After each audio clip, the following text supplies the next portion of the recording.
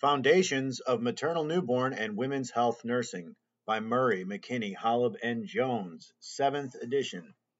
Chapter 18 Postpartum Maternal Complications.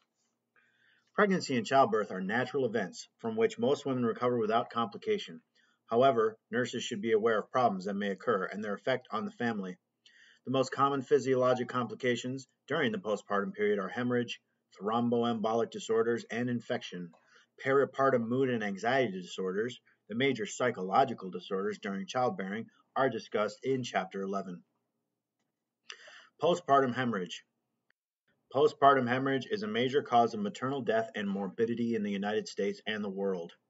Traditionally, postpartum hemorrhage was defined as blood loss greater than 500 milliliters for vaginal birth and greater than 1,000 milliliters for cesarean birth.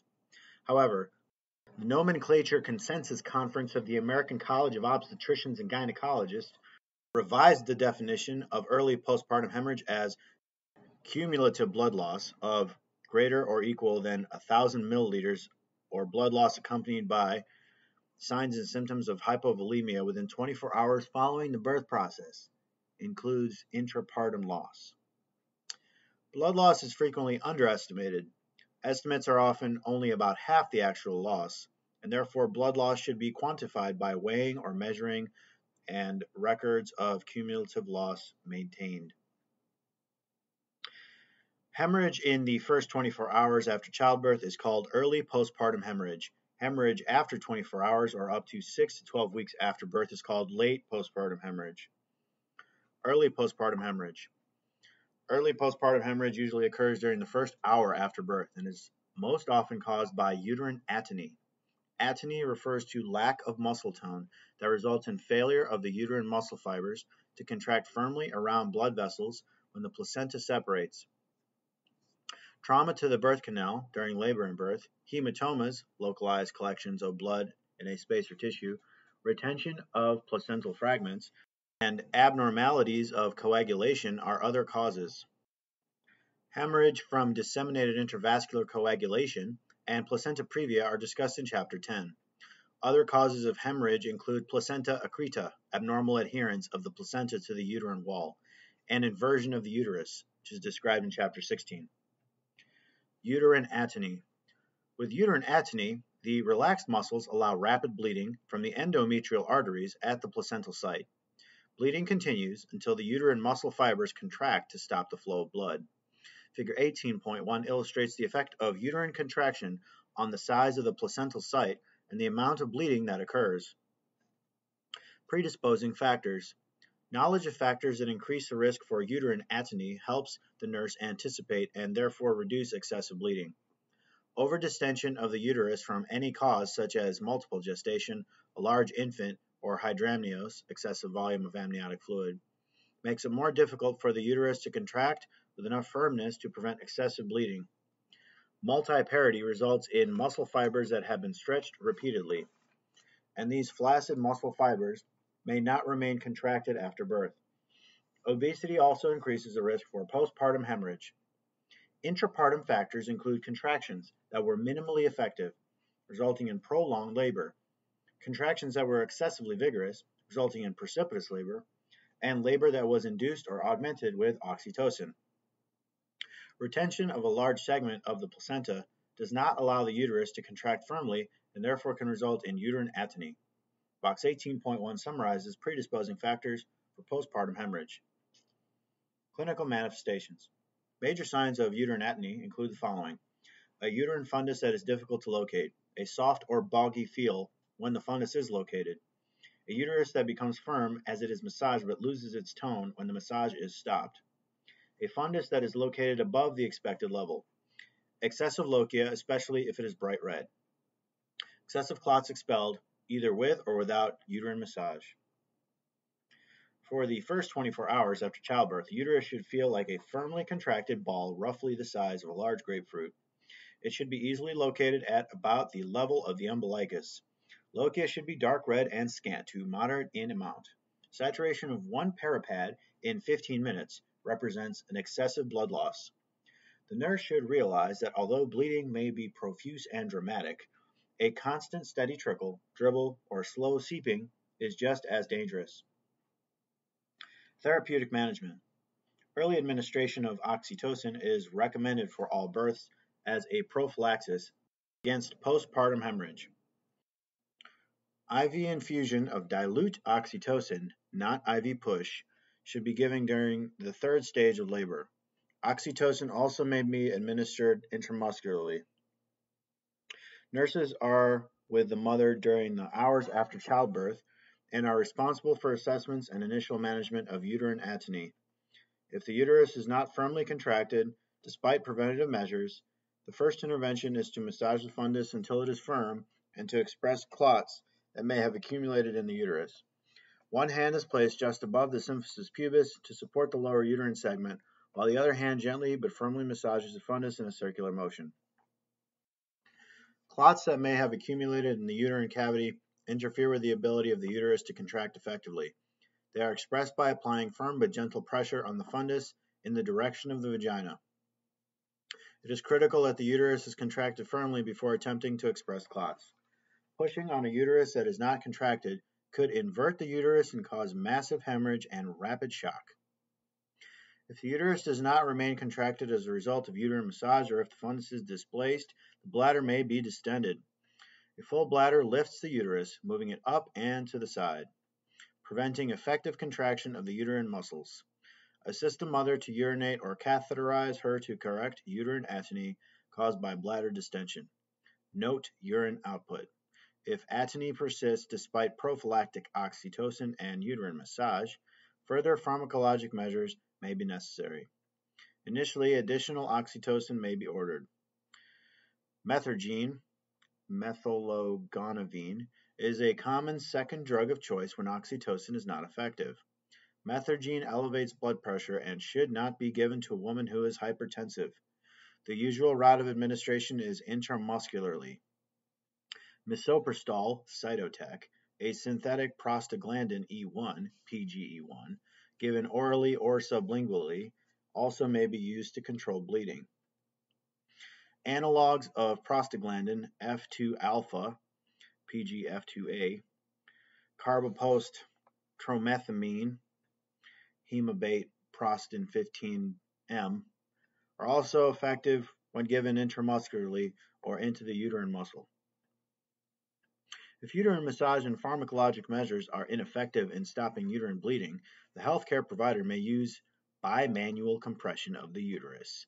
In this procedure, one hand is inserted into the vagina and the other compresses the uterus through the abdominal wall. A balloon may be inserted into the uterus to apply pressure against the uterine surface to stop bleeding. Uterine packing also may be used. It may be necessary to return the woman to the birthing area for exploration of the uterine cavity and removal of placental fragments that interfere with uterine contraction. A laparotomy may be necessary to identify the source of the bleeding. Uterine compression sutures may be placed to stop severe bleeding.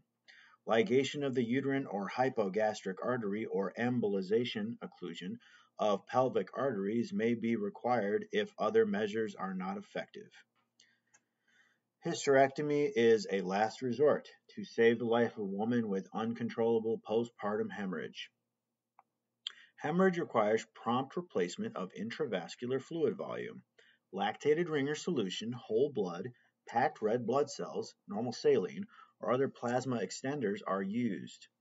Enough fluid should be given to maintain a urine flow of at least 30 milliliters per hour.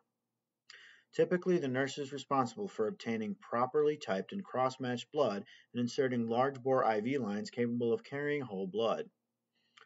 Trauma.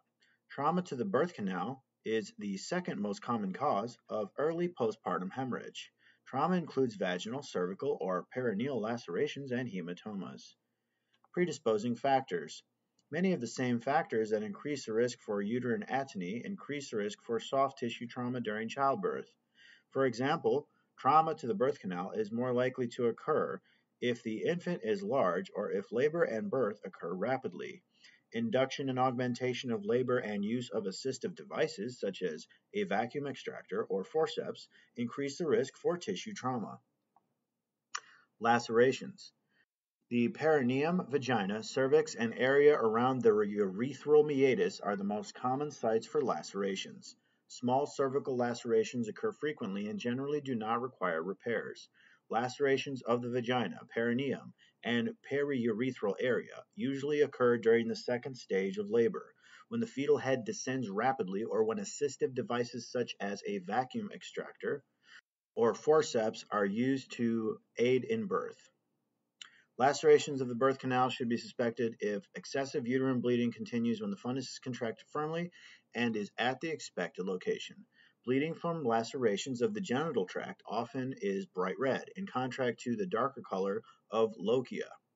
Bleeding may be heavy or may appear to be minor with a steady trickle of blood.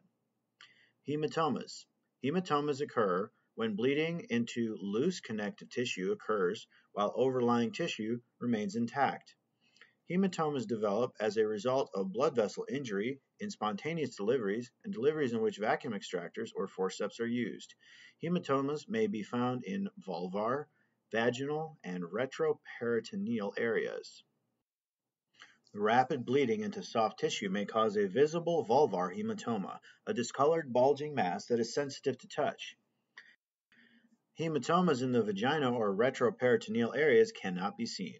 Hematomas produce deep, severe, unrelieved pain, and feelings of pressure that are not relieved by usual pain relief measures. Formation of a hematoma should be suspected if the mother demonstrates systemic signs of concealed blood loss, such as tachycardia or decreasing blood pressure, when the fundus is firm and lochia is within normal limits. Therapeutic management. When postpartum hemorrhage is caused by trauma of the birth canal, surgical repair is often necessary. Visualizing lacerations of the vagina or cervix is difficult, and it is necessary to return the mother to the birthing area, where surgical lights are available. She is placed in a lithotomy position and carefully draped. Surgical asepsis is required while the laceration is being visualized and repaired. Small hematomas usually resorb naturally. Large hematomas may require incision, evacuation of the clots, and location and ligation of the bleeding vessel. Late postpartum hemorrhage. Late postpartum hemorrhage, also called secondary postpartum hemorrhage, is defined as hemorrhage occurring between 24 hours and 12 weeks after birth. The most common causes of late postpartum hemorrhage are subinvolution, delayed return of the uterus to its non pregnant size and consistency, retained placental fragments, and infection. Normally, the uterus descends at the rate of approximately 1 centimeter, 1 finger breadth, per day, by 14 days, it is no longer palpable above the symphysis pubis. The endometrial lining has sloughed off as part of the lochia, and the site of placental attachment is well healed by six weeks after childbirth. When placental fragments are retained, clots form around the retained fragments, and excessive bleeding can occur when the clots slough away several days after birth. Clinical manifestations. Signs of subinvolution include prolonged discharge of lochia, irregular or excessive uterine bleeding, and sometimes profuse hemorrhage. Pelvic pain or feelings of pelvic heaviness, backache, fatigue, and persistent malaise are reported by many women. On bimanual examination, the uterus feels larger and softer than normal for the time of the puerperium. Predisposing factors. Attempts to deliver the placenta before it separates from the uterine wall, manual removal of the placenta, placenta accreta, previous cesarean birth, and uterine leiomyomas are primary predisposing factors for retention of placental fragments. Debost-Legrand, Riviere, Dossou, and Vendittelli, 2015, found that early postpartum hemorrhage and advanced maternal age, 35 years or older, were also risk factors. Therapeutic management. Late postpartum hemorrhage caused by retained placental fragments is generally preventable. When the placenta is delivered, the healthcare provider carefully inspects it to determine whether it is intact. If a portion of the placenta is missing, the provider manually explores the uterus, locates the missing fragments, and removes them. Initial treatment for late postpartum hemorrhage is directed toward control of the excessive bleeding. Oxytocin, methergine, and prostaglandins are the most commonly used pharmacologic measures. Placental fragments may be dislodged and swept out of the uterus by the bleeding, and if the bleeding subsides when oxytocin is administered, no other treatment is necessary. Sonography may identify placental fragments that remain in the uterus. If bleeding continues or recurs, dilation and curettage, stretching of the cervical os to permit suctioning or scraping of the walls of the uterus, may be necessary to remove fragments. Broad spectrum antibiotics may be given if postpartum infection is suspected because of uterine tenderness, foul smelling lochia, or fever. Nursing considerations. In most cases, subinvolution is not obvious until the mother has returned home after childbirth. Nurses should teach the mother and her family how to recognize its occurrence, demonstrate how to locate and palpate the fundus, and how to estimate fundal height in relation to the umbilicus. The uterus should become smaller each day by approximately one finger breadth. Explain the progressive changes from lochia rubra to lochia serosa and then to lochia alba. See Chapter 17.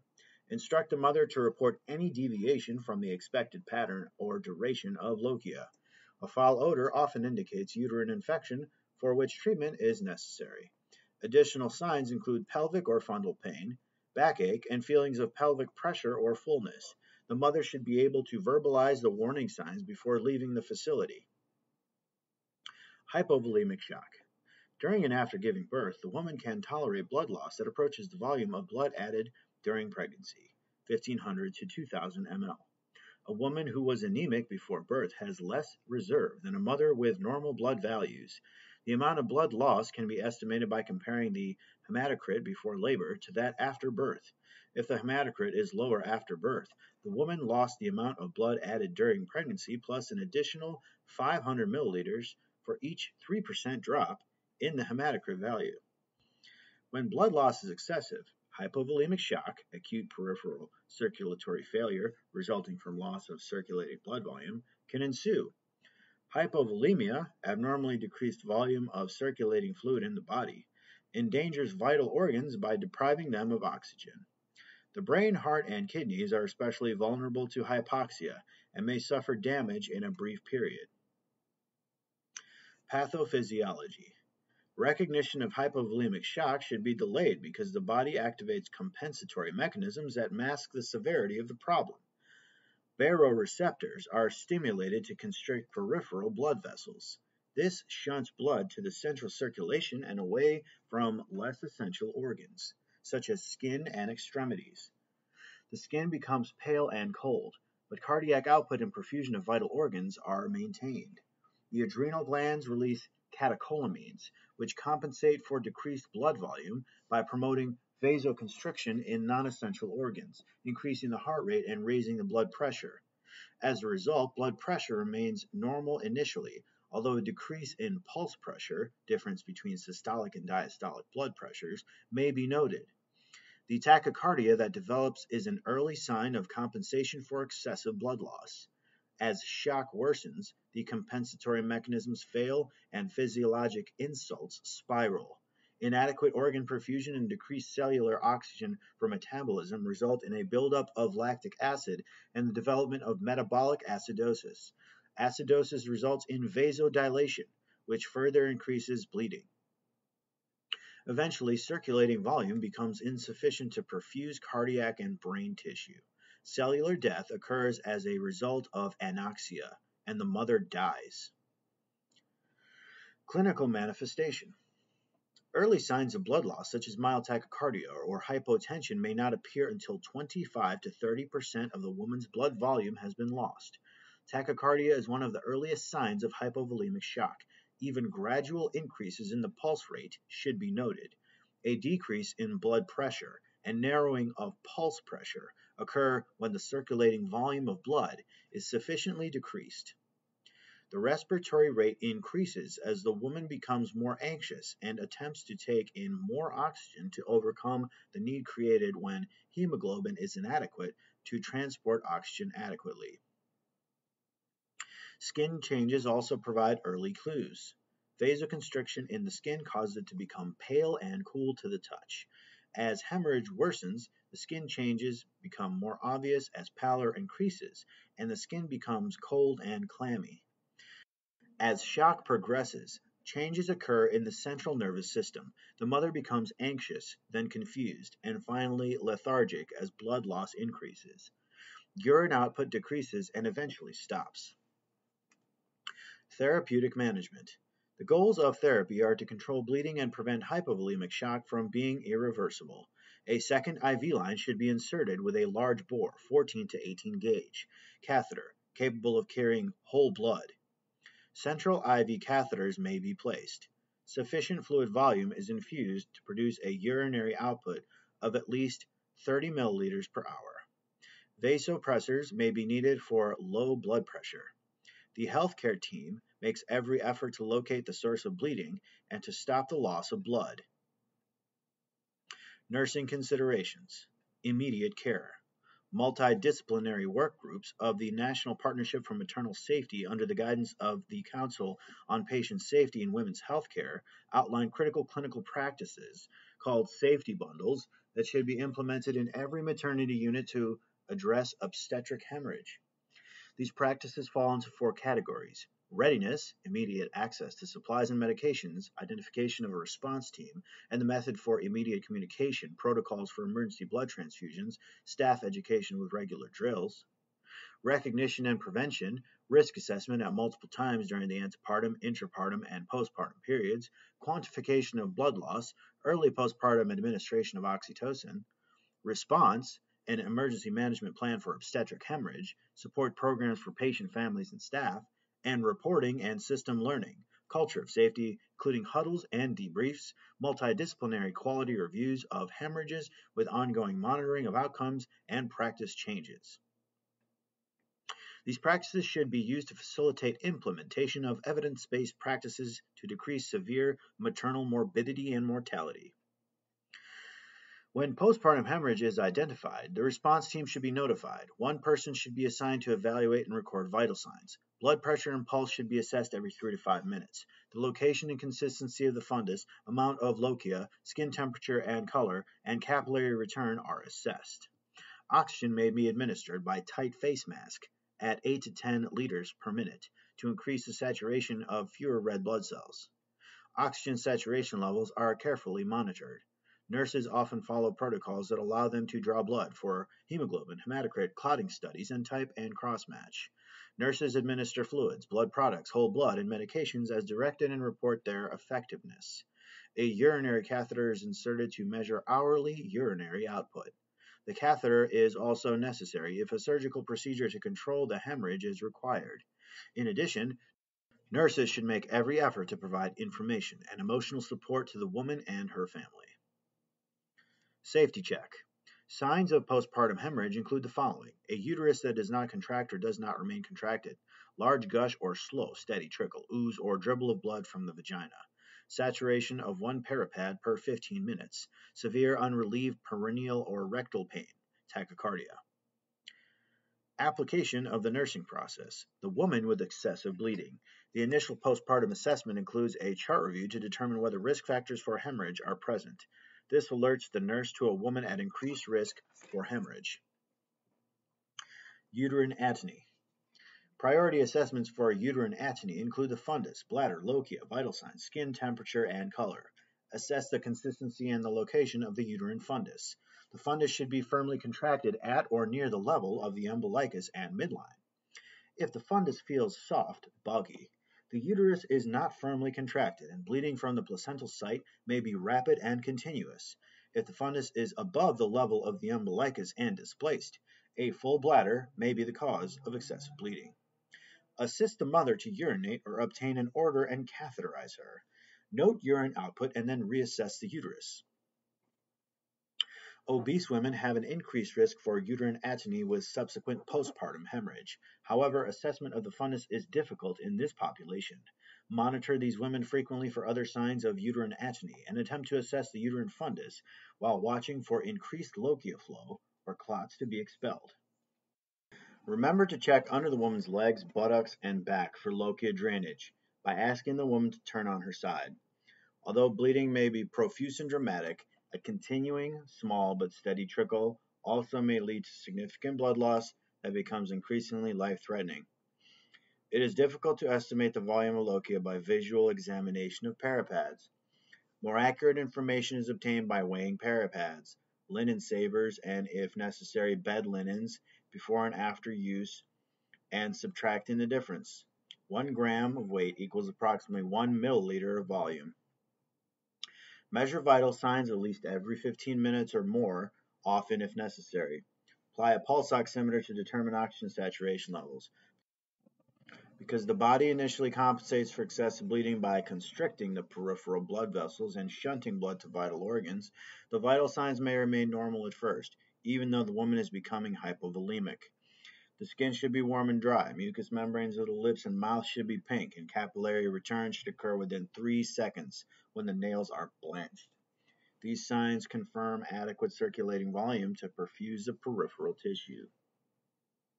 Trauma. If the fundus is firm but bleeding is excessive, the cause may be lacerations of the cervix or birth canal. Inspect the perineum to determine whether a laceration is visible. Lacerations of the cervix or vagina are not visible, but bleeding in the presence of a firmly contracted uterus suggests a laceration. This warrants examination of the vaginal walls and the cervix by the healthcare provider. Assess comfort level. If the mother complains of deep, severe pelvic or rectal pain, or if vital signs or skin changes suggest hemorrhage, but excessive bleeding is not obvious, the cause may be concealed bleeding and the formation of a hematoma. Examine the vulva for bulging masses or discoloration.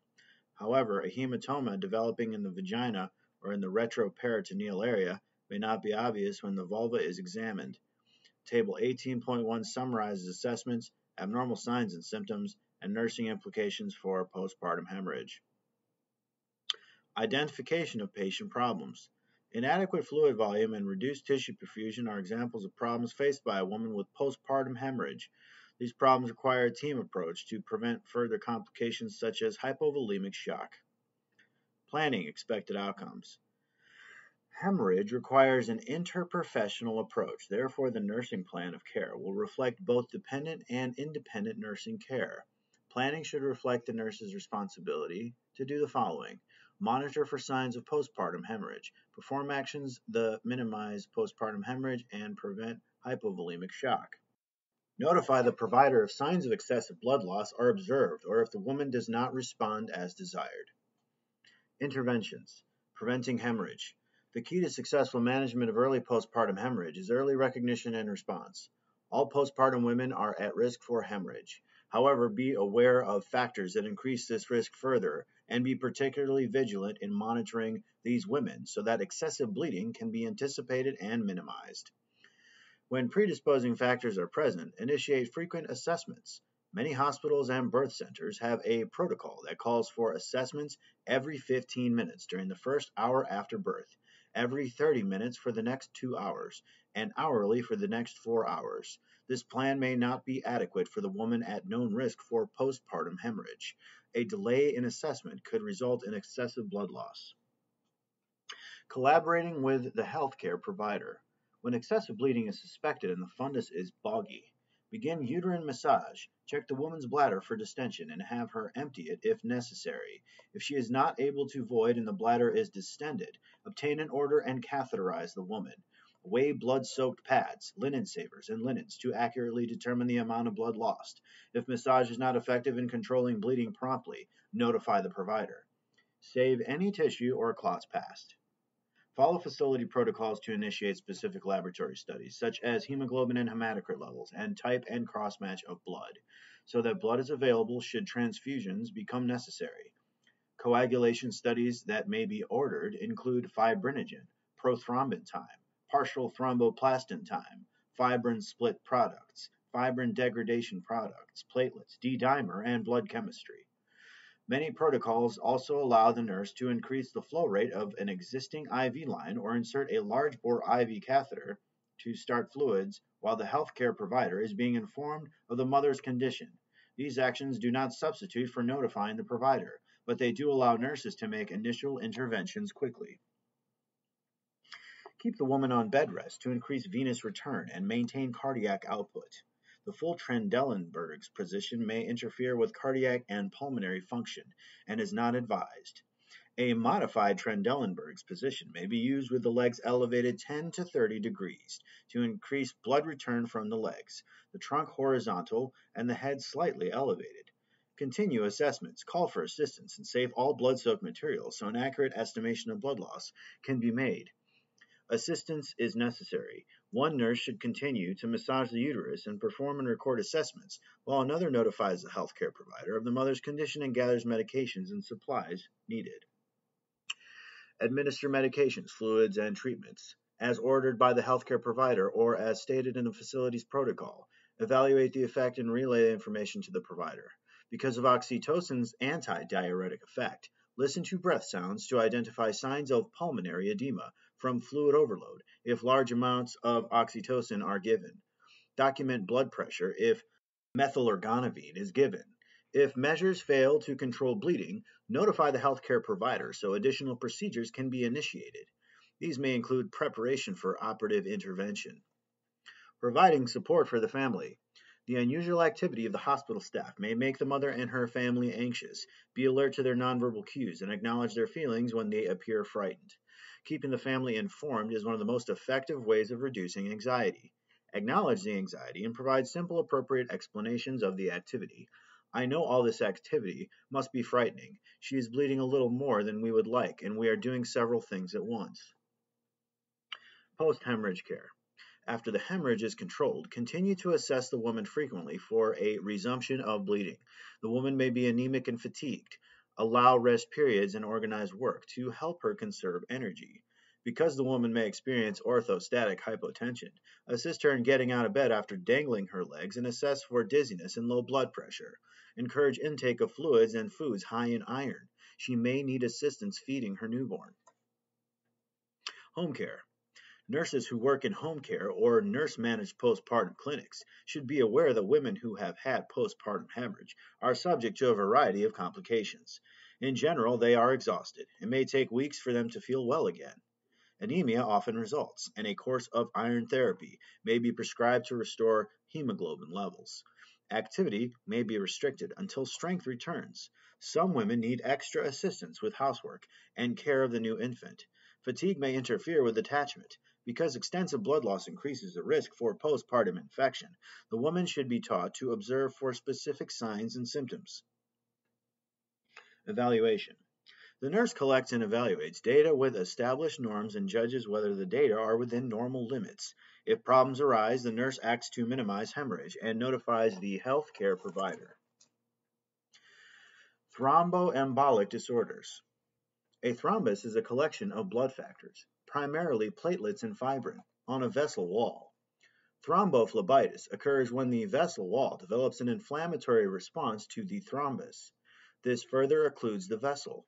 An embolus is a mass that may be composed of a thrombus or amniotic fluid released into the bloodstream that may cause obstruction of capillary beds in another part of the body, frequently the lungs. A pulmonary embolus is a potentially fatal complication that occurs when the pulmonary artery is obstructed by a blood clot that was swept into circulation from a vein or by amniotic fluid.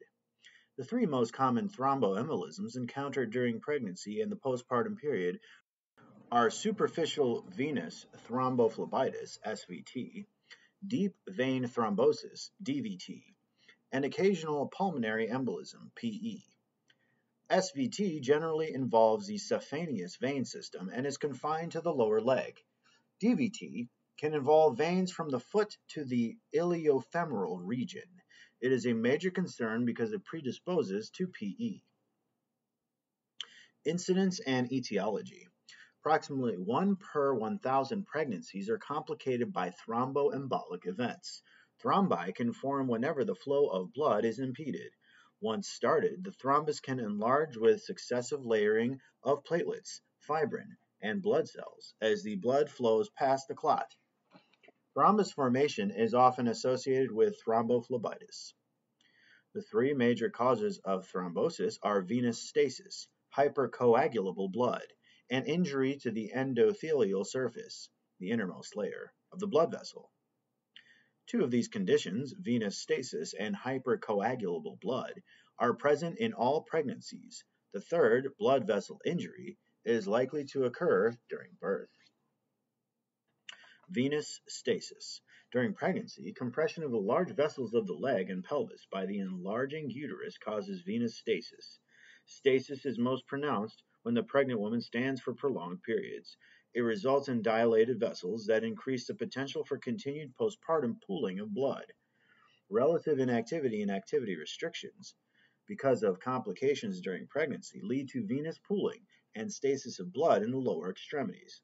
Prolonged time in stirrups for birth and repair of the episiotomy also may promote venous stasis and increase the risk for thrombus formation. Hypercoagulation. Pregnancy is characterized by changes in the coagulation and fibrinolytic systems that persist into the postpartum period. During pregnancy, the level of many coagulation factors are elevated. In addition, the fibrinolytic system, which causes clots to disintegrate, lyse, is suppressed. The result is that factors that promote clot formation are increased, and factors that prevent clot formation are decreased to prevent maternal hemorrhage, resulting in a higher risk for thrombus formation during pregnancy and the postpartum period.